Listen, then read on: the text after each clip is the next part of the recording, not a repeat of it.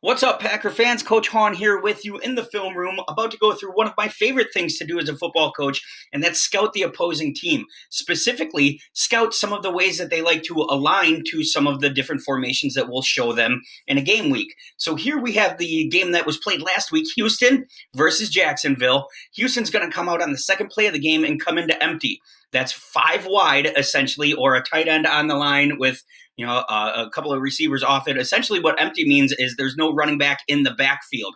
So, usually, when offenses do this, defenses have to get into what they call a check or one or two very specific plays that they're going to run when they see this, simply because offenses can get into empty so quickly, and empty can cause real problems. Obviously, you can have three on one side and two on the other, or even quads look where there would be four receivers on one side and one on the other. So it can cause some confusion for the defense. So the defense gets right into what's called a check or a specific one or two play pattern that they'll run against empty.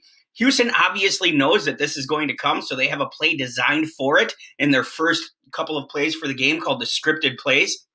And we're going to see this one hit big time. Now, the reason I chose the Houston game is because this guy right here, Deshaun Watson and Aaron Rodgers, are very, very similar. Okay, usually in empty, what a lot of aggressive defenses like Jacksonville like to do is bring a lot of pressure early just to see how you're going to handle it. So you'll watch Jacksonville on this specific snap bring six. They're going to have one unblocked defender and they're going to take up the rest of the offensive linemen. There's only five linemen that can block and they're locked into man protection. So Jacksonville is going to bring six and try to get on Watson really, really quickly.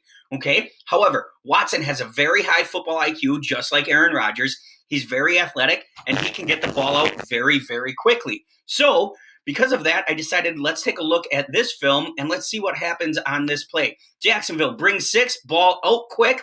A little out route's always going to beat man to coverage. And here we go. Brandin Cooks, he's off to the races, 57 yards. That's a second play of the game.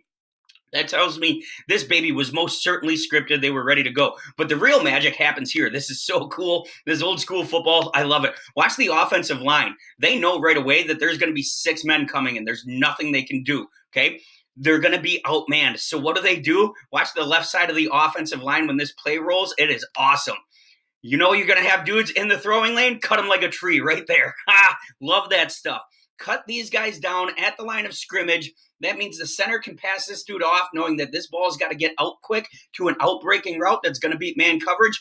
And Joe Schobert, right here, the inside backer blitzing, he's going to get picked up just enough to get that thing to go. Now, obviously, if you're bringing six men or six man pressure, that means you only have five in the secondary. That's five on five or straight man with no safety help. So you pick up one block to an athlete and you're off to the races. Brandin Cooks going to show you here that it's all over now, which is awesome. However, there can be some problems with empty.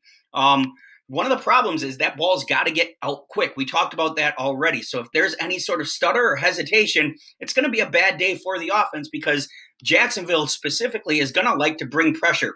They're going to bring four here initially and bring Schobert right here, that inside backer, on just a little bit of a delayed or what we call a cafe blitz, where he's going to be standing here like it's spy, and then he's going to go insert. So if the Texans can get this ball off really, really quickly to the outside, it's going to go a long, long way. However, if there's any sort of stutter down here by these receivers, or if they can't get off a man jam and Watson has to hold the ball, he's going to be under attack. So right here, you see the little stutter by the receiver coming in just wasn't enough. Schobert's already collapsing in on him, and Watson's in trouble and going down for the sack. That's one of the problems that can happen against empty. So if the Green Bay Packers do decide to go a lot of empty against Jacksonville, knowing what their checks are going to be, that ball's going to get out quick. Those receivers have to gain separation immediately. Otherwise, Rodgers could be in trouble in the pocket. So Again, I'm excited for this game. I can't wait to see how Jacksonville plays against empty. I'm really thinking that Green Bay has a lot of advantages if they go to a lot of empty sets against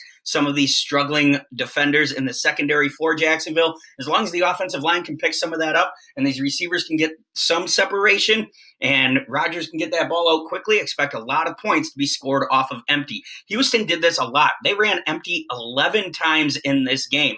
And those 11 plays – Watson was five of eight for 98 yards and a touchdown. He had three incomplete passes. Um, two of them I would contend were probably drops. He was also flushed out of the pocket and scrambled. And one of the things about empty when you bring in a lot of pressure is if you can get out of the pocket, you can go for a little ways. So he had some pretty decent rushing yards in this game. And then the one lone relatively negative play was this sack where he had to eat it when the receiver stuttered a bit too much. So just some of the things I'm really looking forward to when Green Bay plays Jacksonville. Um, again, my name is Coach Hahn in the film room on behalf of Packernet.com. If you like what you're seeing, let me know. If there's anything else you'd like to see, let me know as well, and I'll do my best to accommodate you. Until next time.